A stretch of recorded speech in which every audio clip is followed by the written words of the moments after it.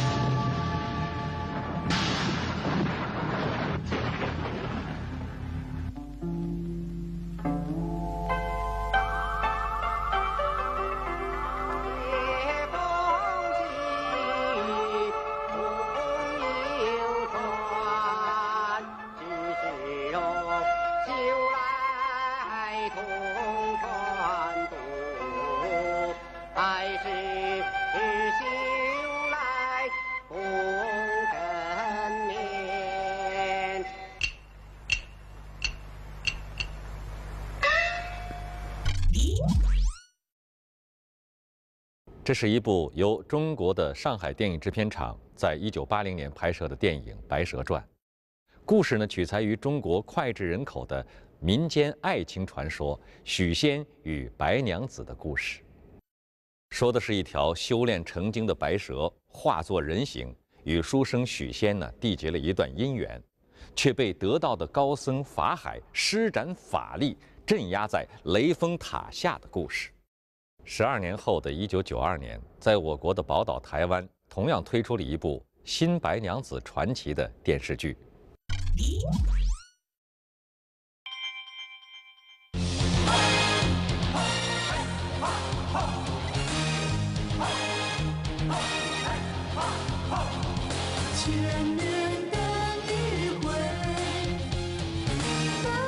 电视剧在台湾地区一经推出，就受到了观众的热捧，取得了极大的收视成功，并入围第二十八届台湾电视金钟奖。这部《新白娘子传奇》内容同样取材于《白蛇传》这个凄美而浪漫的中国古代神话故事。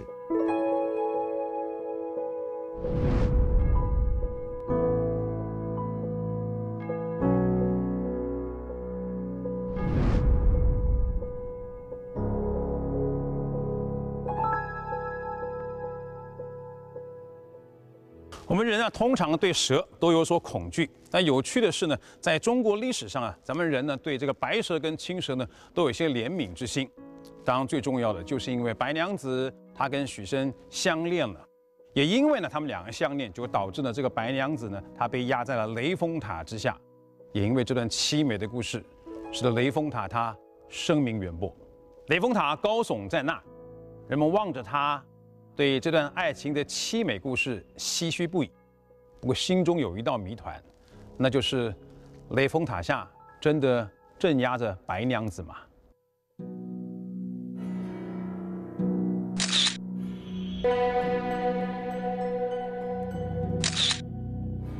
可惜的是，一九二四年九月二十五日，这座位于中国浙江省杭州市西湖之滨的雷峰塔。随着飘摇的岁月，轰然倒下，坍塌为一堆废墟，只剩下了矮矮的几阶塔基。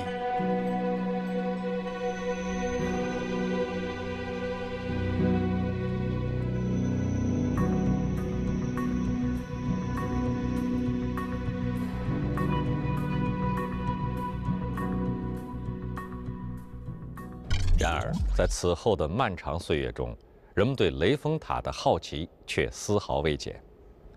在传说中镇压着一段真挚爱情的宝塔，究竟从何而来呢？而坍塌之后的废墟下面，又是否真的隐藏着人所未知的秘密呢？七十七年后的二零零一年，浙江省政府决定重建雷峰塔。雷峰塔神秘的面纱终于将被揭开，此时，文物部门决定首先对雷峰塔遗址进行考古发掘。在堆成小山一样的残砖废土被逐步清理干净后，探测雷达显示，在雷峰塔的下面真的埋藏着不同寻常的东西。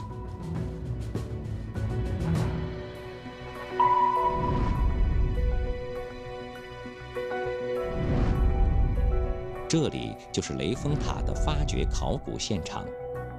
由于那个家喻户晓的神话传说，雷峰塔的考古发掘注定将会是一场吸引无数世人目光的重大考古发掘。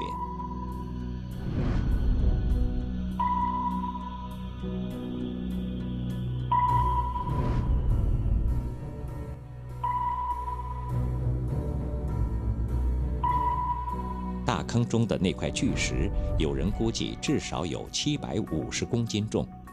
在这块巨石下面是一个被石板盖住的地洞，也就是所谓的地宫。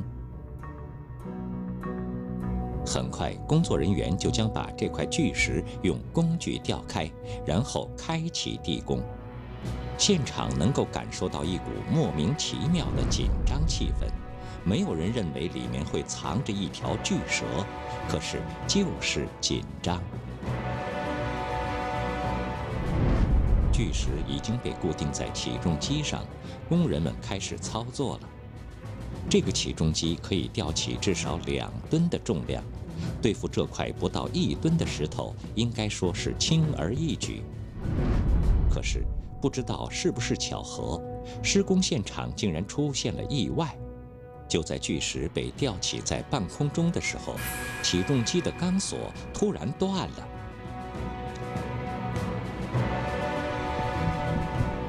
小小的插曲让现场的考古人员也吃了一惊。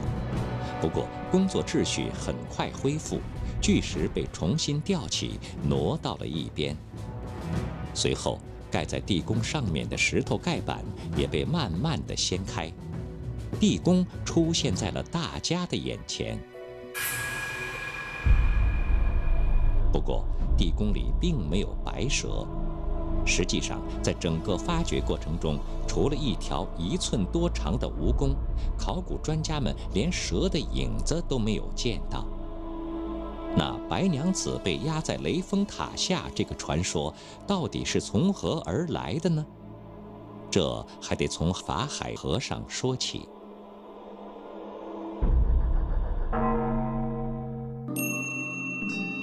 相传在唐朝时，金山寺内有一个叫做法海的和尚。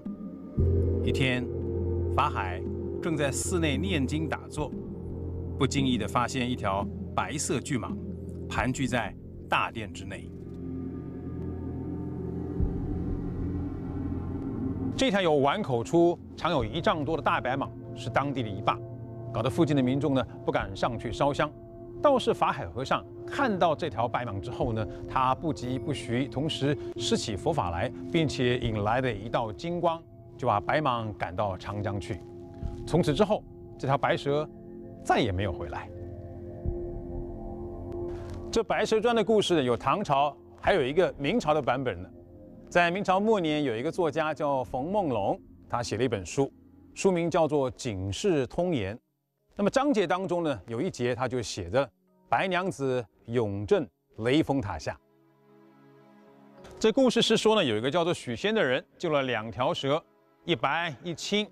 那么白蛇呢，为了报恩，就化成了女性，嫁给了他当他的夫人；青蛇呢，就变成了丫鬟。这三个人日子呢，本来过得好好的，结果呢，来了一个叫做法海的和尚，他看了许仙满脸的妖气。于是呢，他就把许仙给藏了起来。那白娘子呢，就到了金山寺要她的老公了，找不到人，于是就水漫金山了。总而言之啊，这个白娘子跟法海斗法，斗了半天，他斗不过，所以呢，白娘子呢，她就困在了法海手上的这个小小的钵盂了。这里就是杭州西湖《白蛇传》故事发生的地方。柔情款款的湖水上，蛇妖白素贞与许仙一蛇一人相遇相恋，继而结合。但这份人妖之间的真情，却被以法海和尚为代表的所谓卫道人士视为逆天，加以残酷破坏。传说中，白素贞经过激烈抗争，但毕竟法力不够，最终被法海收入金钵，并且修建起这座雷峰塔，将其镇压于塔下。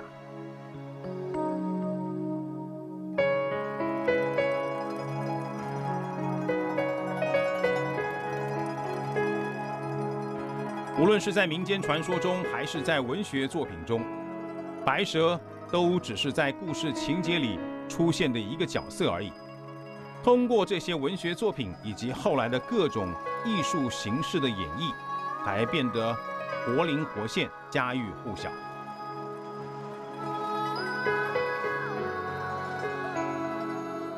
既然没有白蛇，那雷峰塔的地宫中到底出土了什么宝贝呢？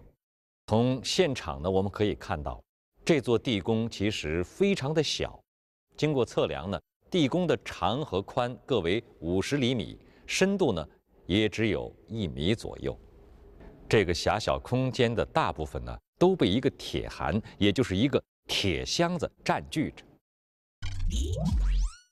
在铁箱子的侧面呢，隐约可以看到有一尊佛像。这就是当初被放置在铁函旁边的那尊鎏金铜佛像。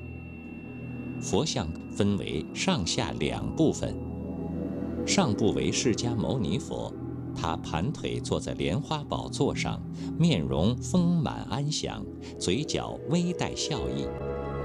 奇特的是，佛像下部释迦牟尼的莲花宝座是由一条盘龙托起的，龙身缠绕在莲花座下。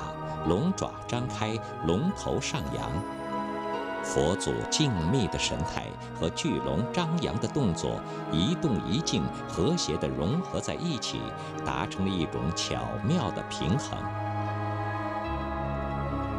在这尊贵的释迦牟尼佛像边，铁函更是散发出几分神秘感。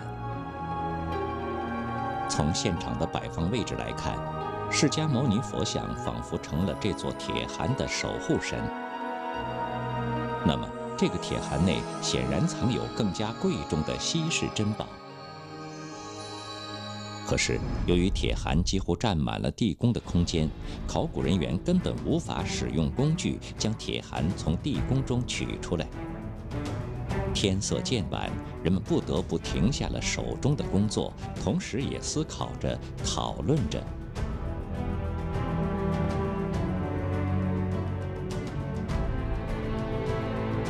第二天一早，考古工作继续进行。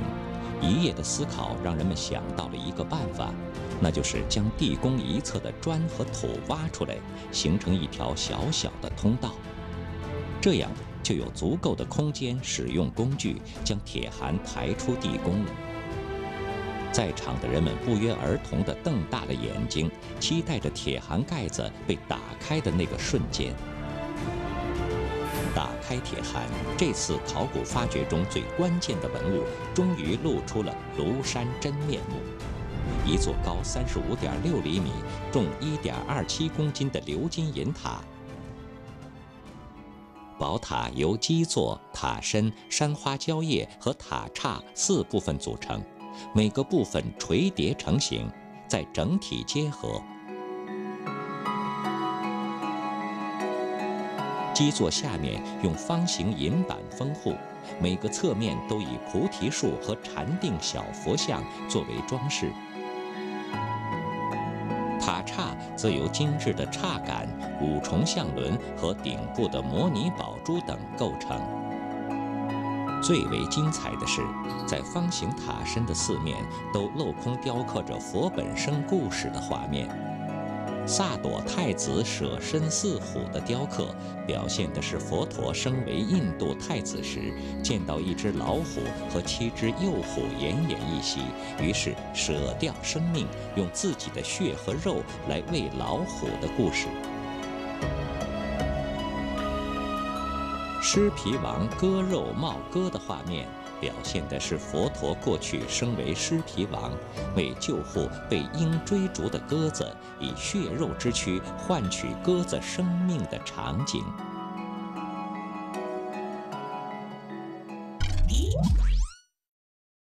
这些反映佛教故事的雕刻啊，工艺细致入微，造型美轮美奂，塔身上的各种纹饰。精美繁复，佛像姿态呢也是栩栩如生，说明五代十国时期的吴越之地有着高度发达的金属制造工艺。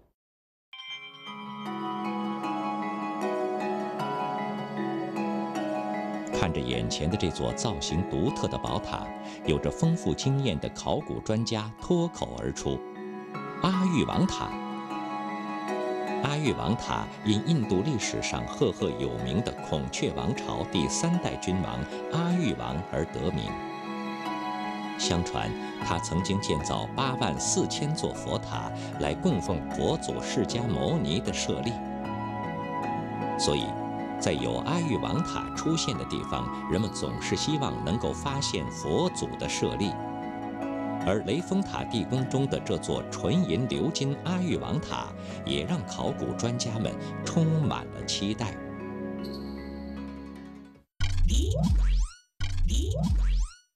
透过镂空的塔身，人们发现，在塔身内呢，果然存放着一个小小的金盒子。结合文献记载以及在雷峰塔遗址发现的华严经跋残碑中记述。考古学家们推测，在这座阿育王塔中供奉的很可能就是佛罗髻发舍利。通俗的说呀，就是佛祖释迦牟尼的头发舍利。为了尊重宗教信仰，保护文物的完整性，考古学家们并没有将佛罗髻发舍利从阿育王塔中取出，而是原封不动地留在了阿育王塔中。《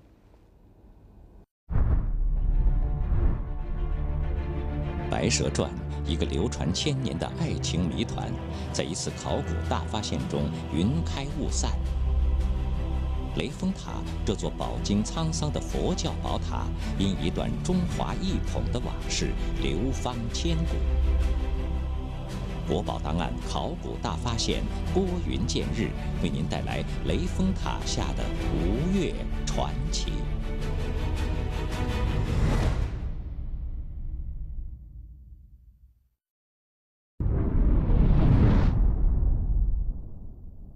这考古的资料告诉我们一件事情：雷峰塔它建造的年代呢是在公元九七二年到九七六年。我们算一下时间，不得了！这个雷峰塔呢，它的历史呢已经有千年的历史了。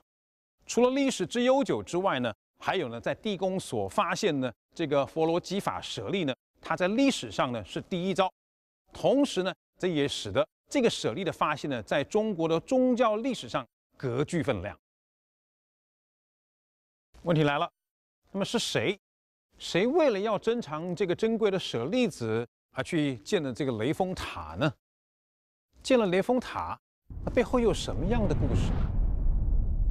雷峰塔建造的年代史称五代十国，当时的中国社会，唐朝已经灭亡，宋朝刚刚建立，尚未完成国家的统一，存在着很多地方割据政权。雷峰塔所在的地方是今天浙江省的杭州市，在五代十国时期，正是吴越国的国都所在地。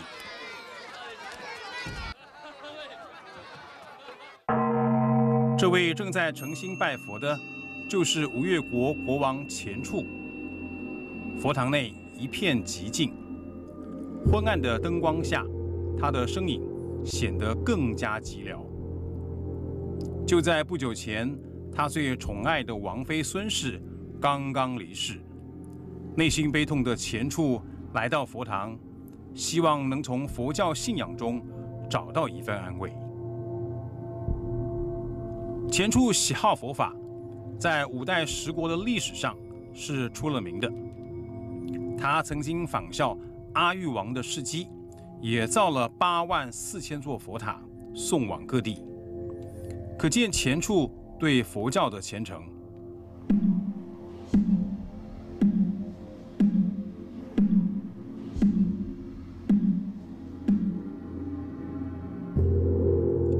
礼佛完毕，心事重重的前处推开门，来到佛殿之外。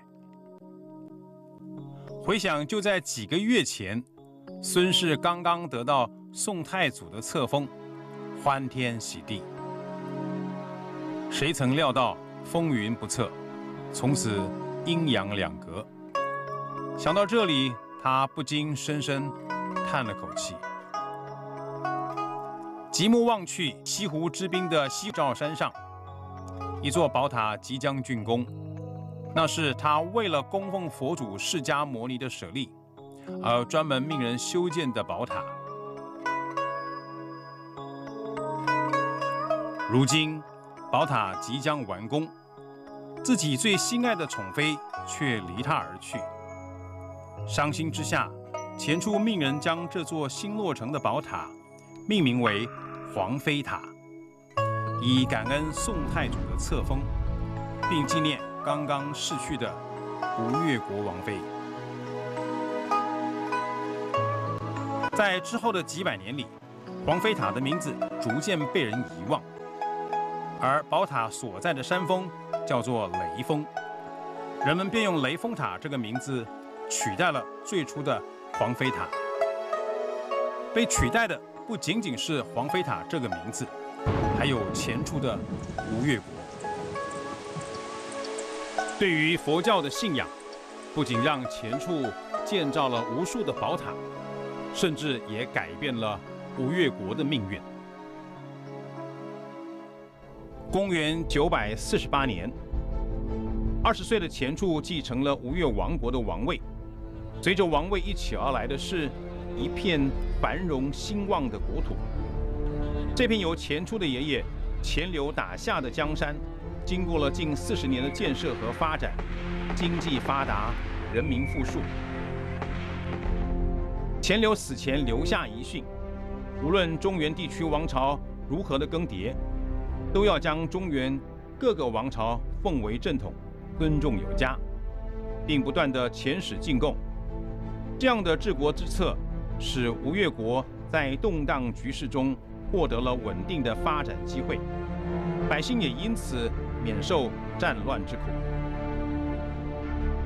继承了王位的钱处，也遵循了祖先的遗训，再加上自己信奉佛教，主张慈悲为怀，反对杀戮，因此钱处在位期间，吴越国更是少有战乱，国泰民安。然而，随着时间的推移，中国政局出现了变化。宋朝建立，各地的割据势力逐步的被消灭，天下显现出了大一统的趋势。历史在一瞬间将钱处放到了一个尴尬的处境之中。在初春的江南，西湖呢波光粼粼，风光明媚。站在岸边的吴越王钱处呢，他崇信佛教，他拿起了他手上的佛珠，盘了又盘。他一边盘一边想，在过去的七十一个年头，他和他的先祖创建了这个美丽的王国，但他心里也很明白，吴越已经成为大宋王朝还没有兼并的最后一个王国。这身为国王的他，心里呢就开始要揣想一件事情了。虽然他所处的这个吴越王国偏安一隅。有富饶的土地和多年的累积，但他心里明白，他无法抵挡大宋的军队要一统天下的决心。于是他心里面就浮起了一幕景象：如果大宋军队挥军而下的话，原本安和乐利的社会就会生灵涂炭。身为一国之君，他知道他必须对人民负责。身为一位佛教徒。他更不可能漠视这即将发生的腥风血雨。他必须以天下苍生为念，从善如流。公元九百七十八年五月，钱俶来到宋朝的首都东京，也就是今天的河南省开封市。他面见宋太宗，将吴越国所辖的两浙十三州的土地全部悉数纳入宋朝版图，成就了一段顾全大局、中华一统的历史佳话。统一之后的吴越之地，生产力免遭破坏。社会持续发展，科学技术也更加发达。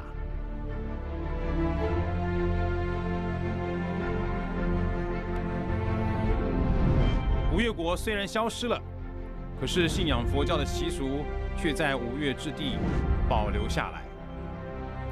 在雷峰塔的考古发掘中，佛教文物成了最重要的主题之一。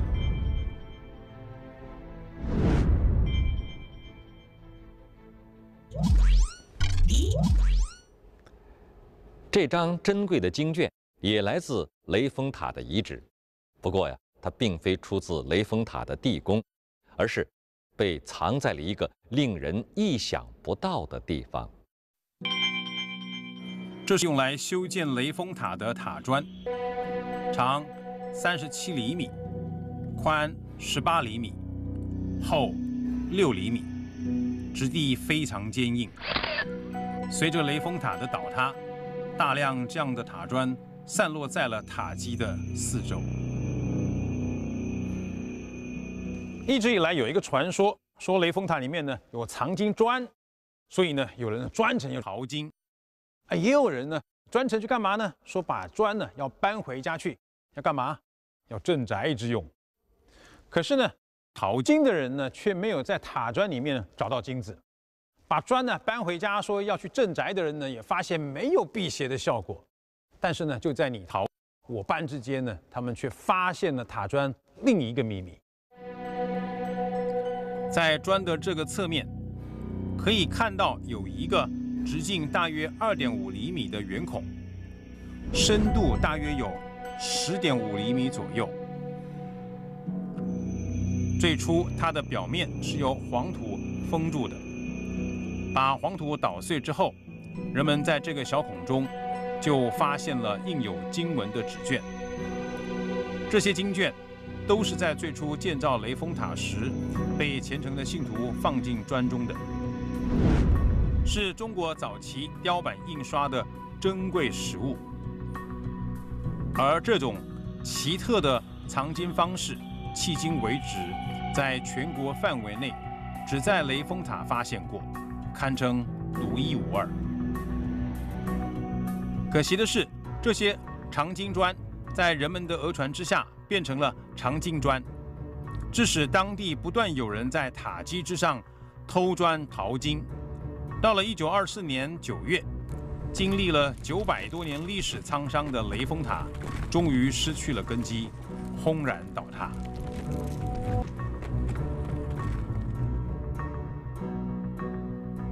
这雷峰塔虽然倒了，不过雷峰塔的影子和它所遗留的文明遗产，都活在中国人的心目当中。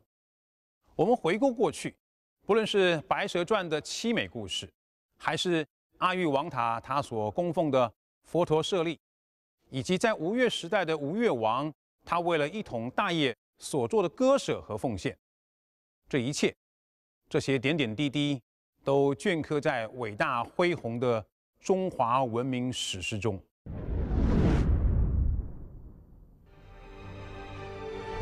这里是台湾佛光山佛陀纪念馆。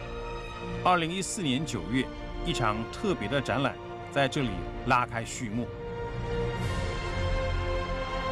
雷峰塔地宫出土的阿育王塔，以及其他来自中国大陆的珍贵佛教文物一起。呈现在了台湾民众面前。法海和白娘子的恩怨已经成为过去，璀璨辉煌的中华文明，伴随着一个封存了千年的梦想，再次圆满地重现人间。